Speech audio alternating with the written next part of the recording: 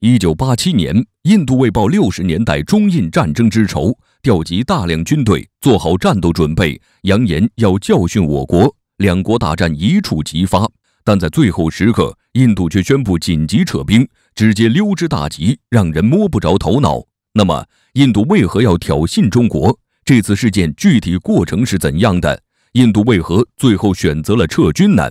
本期为大家讲述一九八七年印度撤军之谜。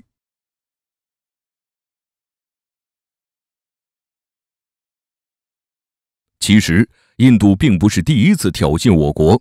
一九六二年，印度在美、英、苏等国的支持下挑衅中国，解放军奋起反击，以秋风扫落叶之势将印度打得溃不成军。这次实力悬殊的战争，使印度对解放军产生了深深的恐惧，也让他们收敛了挑衅的心思。中印在此后的十几年间一直相安无事，但这次战争的结果让印度国内激进派很不服气。他们在战后越想越气，决定密切关注着中国的动向，等待一雪前耻的机会。他们并没有等太久。一九八零年，尼赫鲁之女英迪拉·甘地第二次就任印度总理。这位绰号“印度铁娘子”的女强人，希望实现父亲的理想，通过战争洗刷曾经的耻辱。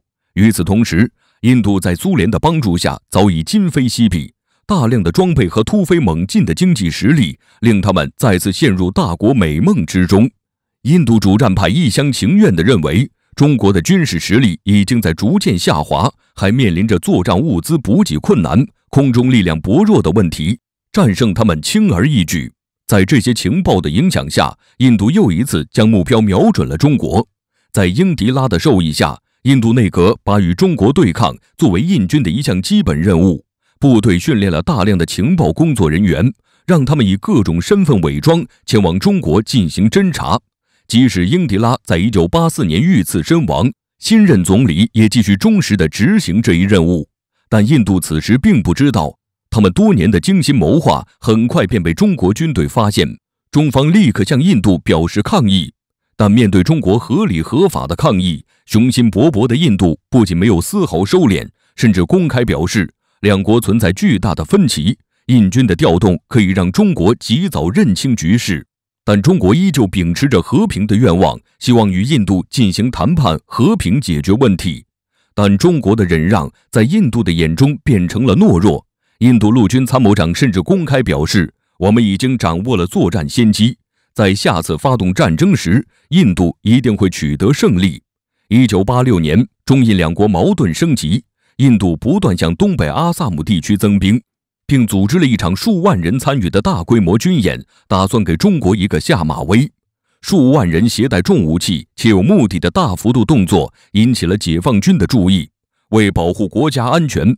解放军第一时间在控制区增派兵力进行防御，而印度民众不明所以，纷纷表示要给中国一个教训，要把本国在一九六二年丢掉的面子找回来，并给中国一记响亮的耳光。所以，印度非但没有收敛，反而选择与中国撕破脸皮，不断增加兵力，修建哨所，随时做好了进攻中国的准备。但令人意外的是，在印度挑衅持续一年之后。真正的进攻却迟迟没有到来，到一九八七年六月底，印度却灰溜溜地撤军了。那么，为什么如此飞扬跋扈的印度最终没有进攻中国呢？主要有以下三个原因。第一个原因，中国的强硬态度震慑了印度，对于印度拒绝和平、一心求战的态度，中国忍无可忍，不仅命令部队随时做好作战准备，还出动了新式的黑鹰直升机。克服高寒地区的重重困难，为前线部队输送补给。最为剑拔弩张之时，双方哨所间的距离只有七到十米，就连士兵们说话的声音都能听到。而如此近的距离，使冲突在所难免。一九八七年五月，解放军巡逻队遇到了印度部队，印军不仅无视了解放军的善意劝告，还开黑枪击中了我方副营长。副营长在被抬回阵地后，因失血过多而牺牲。巡逻队将此事上报后，上级立刻下令消灭这支印军。于是，巡逻队携带着迫击炮、无后坐力炮等重武器，有着极强的火力。在发起攻击后不到一个小时，印军便被击毙十三人，被俘八人，其余士兵四散而逃。随后，印军很快组织军力反扑，但依然被解放军击退。次日，印度军队派遣七百人的加强营进攻高地，但解放军山地步兵五十三旅也携带着重武器赶到战场。印军看到中国的大炮后，立刻收缩了防线。印度为防备中国军队可能的反扑，从后方拉来了十几个师，但他们还是低估了中国军队保家卫国的决心。面对严峻的形势。中央军委决心一战击溃印军主力，兰州军区和成都军区进入战斗状态。第三十七师、六十师、六十一师、幺四九师和幺六零师负责一线进攻。第十三、第二十一、第五十四集团军立刻开赴战场。中国空军的战斗机和轰炸机也在高原之上盘旋，随时做好作战准备。中国直接对外表示，印度一再挑衅中国。试探中国人的底线，中国必将做出反击。除常规力量外，一九八七年六月，中国在新疆进行了一次核试验，爆炸当量超过二十万 TNT，威力是广岛原子弹的十几倍。尽管中国一再宣称这次爆炸只是核试验的需要，但实际目的不言而喻，令印军胆战心惊，对于是否进攻中国犹豫不决。所以，中国五号核试验刚刚完成，十四号，印度外长就来中国进行访问，代表总理向中国表示友好。就在中国军队做好战斗准备的同时，印度高层却发生了内讧。声势浩大的中国军队不仅震慑了印度军方，也令部分政府高层胆战心惊。一时间，国内激进派和保守派针对是战是和争论不休。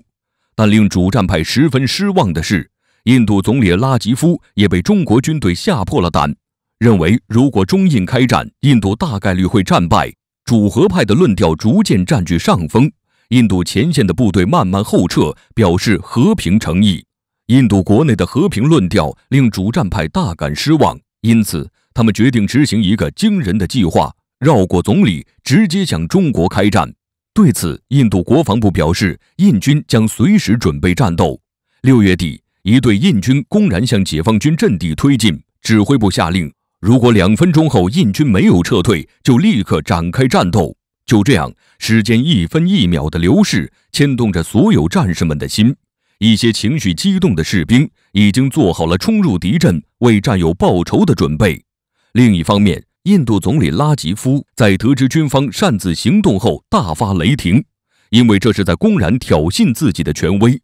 他立刻电令印军前线部队撤军。前线部队在接到总理的命令后，只得宣布撤退。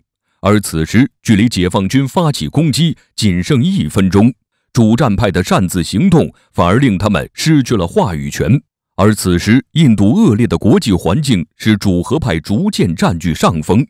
就在中印战争一触即发之时，其他国家也纷纷表明了自己的态度。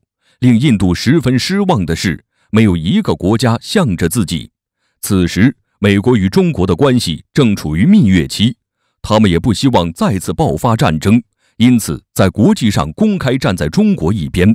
中国的亲密盟友巴基斯坦此时也站了出来，大力支持中国，公开向印度表示，一旦印度与中国开战。巴基斯坦立刻就会向印度发起进攻，而这将使印军陷入两线作战的尴尬境地。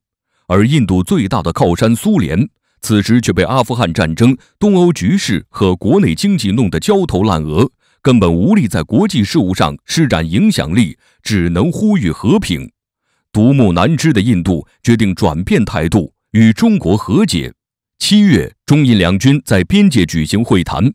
中方代表在会议上严厉谴责印度挑衅中国的举动，印军代表被中国说得哑口无言，无从辩驳。这次会议结束后不久，中印双方军队正式分批撤退。一九八七年，中印边境危机也随之落下帷幕。一九八八年十二月，拉吉夫甘地正式访华，中印两国的紧张关系得以缓解。在此后的十几年中，中印虽然偶有摩擦，但却从未发生过大规模冲突，总体上保持了和平安宁的局面。一九八七年中印冲突，中国用强硬的态度，使印度看到了惹怒中国的后果，不得不做出妥协，承认自己的错误。这场冲突的和平解决，不仅让世界看到了中国期盼和平解决争端、不愿挑起战争的大国形象，还充分说明，在国际事务上，相比于抗议，亮剑是更高效的选择。